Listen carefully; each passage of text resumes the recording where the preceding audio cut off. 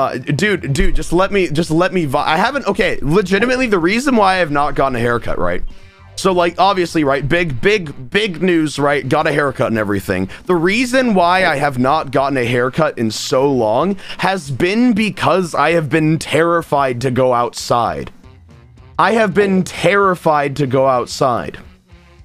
Like, absolutely just terrified to go outside. Mainly because I don't want to be recognized. I just don't want to be recognized. You know?